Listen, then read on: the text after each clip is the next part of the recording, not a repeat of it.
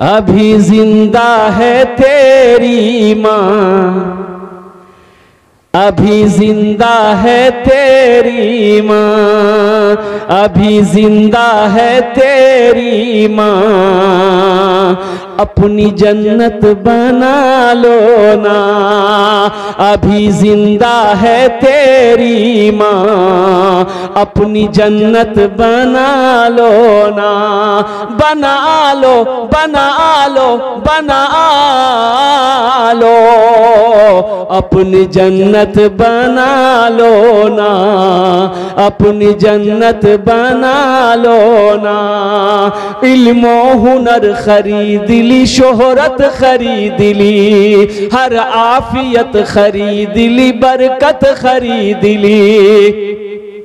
Elmo हुनर खरीद ली शोहरत खरीद ली हर आफियत खरीद ली बरकत खरीद ली एक शब जो एक शब जो माँ के पाँव दबा कर मैं सो गया। एक शब जो माँ के पाँव दबा कर मैं सो गया। देखा जो ख्वाब में मैंने जन्नत खरीद ली, अभी ज़िंदा है तेरी माँ। अपनी जन्नत बना लो ना। माँ बाप के नाम पर इशालो सवाब का काम करो। सदक़ जारिया, नेक औलाद छोड़कर जाना सदक़ जारिया है। और एक बात याद रखना नौजवानों आज तुम जैसा अपने माँ बाप के साथ करोगे, तुम्हारा बेटा भी तुम्हारे साथ वैसा ही करेगा। अगर तुमने अपने बाप को गाली दी है तो तेरा बेटा जब तक तुझे गाली नहीं देगा, तेरी मौत नहीं हो सकती। जैसन करनी, जो जैसा करेगा, पाएगा। जब तक जब तक आपने अपने बाप के साथ बदतमीजी करी है। आपका बेटा जब तक तुम्हारे साथ बदतमीजी नहीं करेगा तुम्हारी मौत नहीं हो सकती। वो मतलब बदतमीजी तुम्हें देखना होगा तुम्हें झेलना होगा तुम्हें बर्दाश्त करना होगा। इसलिए कि तुमने अपने बाप के साथ में बदतमीजी करी है। तुमने अपने बाप की नाफरमानी करी है। तेरा बेटा भी तेरा नाफरमान होगा। फरमा बरदार नहीं हो सकता है।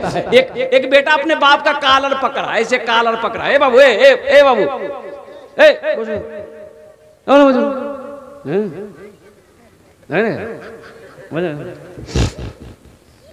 बेटा बाप का कालर पकड़ा, घसेट अंदर से, अंगन से घसेट कर दरवाज़ा तक लाया, दरवाज़ा तक। बुझते पारे ना? ओहो, दरवाजे तक लाया तो बाप कहता, बेटा, रुक रुक रुक यहीं तक, रुक जाओ रुक जाओ, यहीं तक। बेटा रुक गया। तो बाप ने कहा कि, बेटा, जानते हो, हम भी अपने बाप को यहीं तक घसेट कर लाए थे। हम भी अपने बाप को यहीं पर कालर पकड़ के घसीट के लाए थे। उसका बदला तुमने अदा कर दिया। आज मुझे पता चल गया कि हकीकत में जो अपने बाप के साथ में जैसा करेगा, जो अपनी माँ के साथ में जैसा करेगा, वो जब तक भुगतेगा नहीं, उसकी मौत नहीं हो सकती है। इसलिए नौजवानों, आज अगर तुम अपने माँ बाप की खिदमत करोगे इंशाल्लाह तुम्हारी औलाद तुम्हारी खिदमत करेगी। माँ राज़ी।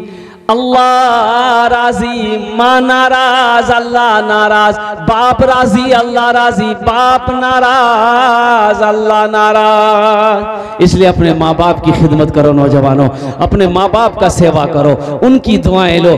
इंशाअल्लाह, मेरा अल्लाह तेरे गुनाहों को माफ़ फरमा कर जन्नत के अंदर में दाखिल फरमा देगा। इंशाल्लाह अगर अपने माँ बाप के साथ में माँ बाप के लिए, आखिरत के लिए सदक़ जारिया करोगे, उनके नाम पे मस्जिद बनाओगे, मदरसा बनाओगे, इंशाल्लाह तेरा बेटा भी तेरे नाम से मदरसा बनाएगा, तेरा बेटा भी तेरे नाम से मस्जिद बनाएगा। इसलिए कि ये अदला का बदला है। इंशाल्लाह। तो मेरे भाई, इसमें से नौजवान ज़िंदगी मेरी गुजरे।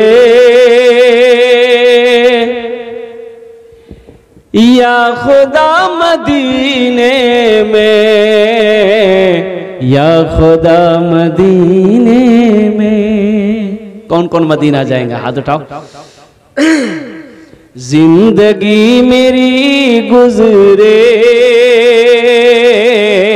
या खुदा मदीने में, या खुदा मदीने में, ज़िंदगी मेरी गुजरे, ज़िंदगी मेरी गुजरे, या खुदा मदीने में, ज़िंदगी मेरी गुजरे, या खुदा मदीने में, ज़िंदगी मेरी गुजरे।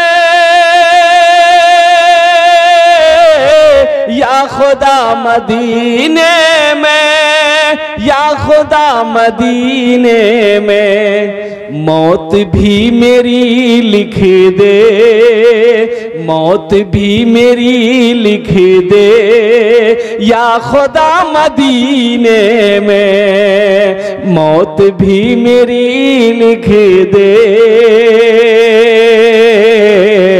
या खुदा मदीने में। आमीन बोले तो अल्हम्दुलिल्लाह।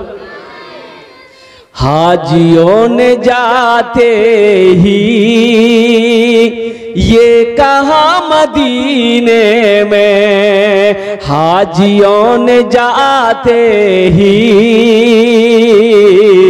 ये कहा मदीने में हाजियों ने जाते ही। ये कहा मदीने में, ये कहा मदीने में, जो कहीं नहीं पाया, जो कहीं नहीं पाया, वो मिला मदीने में, जो कहीं नहीं पाया। वो मिला मदीने में। अच्छा लगा। तो सुबह अल्लाह कौन बोलेगा? हम बोलेंगे। बड़ी तेज़ी के साथ। वक्त को देखते हुए वक्त की किल्लत है रात काफ़ी हो चुकी है। अल्लाह आपके बैठने को कबूल अता फरमा ले। एक बादशाह है बादशाह ने कहा कि जो मेरे सवालों का जवाब देगा हम उसको इनाम देगा। और जो मेरे सवालों का सही जवाब नहीं देगा उसका हाँ, अच्छा आगे में जितने बच्चे बैठे हैं ये सब होशियार बच्चे हैं। बड़ा बुद्धिमान बच्चा सब है। और कुर्बान जाइए। बादशाह ने कहा कि जो मेरे सवालों का सही जवाब दे देगा, उसको इनाम देंगे। जो मेरे सवालों का सही जवाब नहीं देगा, उसका सर कलम कर दिया जाएगा। ये मजमा बैठा है, पब्लिक बैठी है अवाम बैठे हैं। और कुर्बान जाओ। बादशाह ने कहा कि भाई, मेरे सवालों का जवाब कौन देगा? खड़े हो जाओ। कौन देगा? खड़े हो जाओ। कौन देगा? खड़े हो जाओ। लेकिन कोई खड़ा नहीं हो रहा। लोग आपस में बात कर रहे थे कि छिटकोपड़ी बादशाह है। उल्टा पुल्टा सवाल करेगा, जवाब सही नहीं होगा, गर्दन कटवा देगा। ज़िंदगी बच जाएगी, दिल्ली खटके खा लेगा। एक नौजवान बड़ा बुद्धिमान था, वो नौजवान खड़ा हो बोला, मैं दूँगा जवाब। तो बादशाह ने कहा कि सोच लो। बोला, सोच लिया। आप जो सवाल कीजिए, मैं जवाब देने के लिए तैयार हूँ। तो बादशाह ने कहा कि मेरा पहला सवाल, प्रथम सवाल, पहला सवाल यह है कि मेरी हथेली में बाल क्यों नहीं? है बोला, बताइए, कोई सवाल है? अरे सवाल ये होता कि मेरे सर में बाल क्यों नहीं? हम टकला कहे हैं। हथेली में कहीं बाल होता है? ये नौजवान बड़ा चालाक था, बड़ा होशियार था। इन्होंने कहा कि, हुजूर, दरअसल बात यही है कि आप बहुत दयालु हैं, बहुत सखी हैं, फैयाज दिल आदमी हैं, दान करने वाले आदमी हैं। आप दान पुण्य सदका खैरात जक़ात अल्लाह के रास्ते में बहुत लुटाते हैं, इसलिए देते देते सब बाल घिस गया है। बादशाह तारीफ़ सुना, बड़ा खुश हुआ। बोला, बहुत अच्छा जवाब। इनाम दो इसको इनाम इनाम इनाम। दिया। बादशाह बोला कि ठीक है, मेरा दूसरा सवाल है। मेरा देते देते घिस गया। मेरा दूसरा सवाल यह है कि तुम्हारी हथेली में बाल क्यों नहीं? बोला, बाप, अब तो फंस गया बात सही है ना भाई? मान के मेरी हथेली में नहीं है, दान, पुण्य, सदका, खैरात करते करते सब खत्म हो गया। तुम्हारी हथेली में बाल क्यों नहीं है? तो नौजवान बोला कि, हुजूर, दरअसल बात यही है कि आप जो कुछ भी देते हैं, वो हम ही को देते हैं। इसलिए आपका देते देते घिस गया मेरा लेते लेते घिस गया। बोला बहुत अच्छा। इनाम दो इनाम दो इसको इनाम दिया। बादशाह ने कहा कि अब मेरा तीसरा सवाल है। तीसरा सवाल ये है ठीक है मेरा देते देते घिस गया तुम्हारा लेते लेते घिस गया। ये हज़ारों लोग जो बैठे हैं इनकी हथेली में बाल क्यों नहीं? बस समझ मारी है ना? बस समझ मारी है? ये नौजवान बोला कि हुजूर, दरअसल बात यही है कि आपका देते देते घिस गया, मेरा लेते लेते घिस गया इन लोगों का अफसोस से हाथ मलते मलते घिस गया। अब चौथे नंबर पर क्या सवाल था?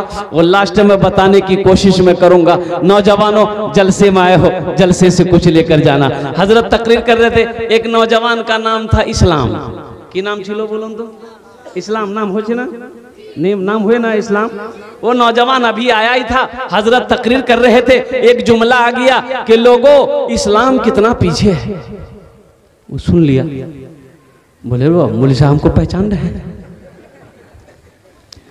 हज़रत हमको जान रहे हैं। शेख हमको पहचान लिए। वो नौजवान पीछे नहीं बैठा, आके बीज में बैठा।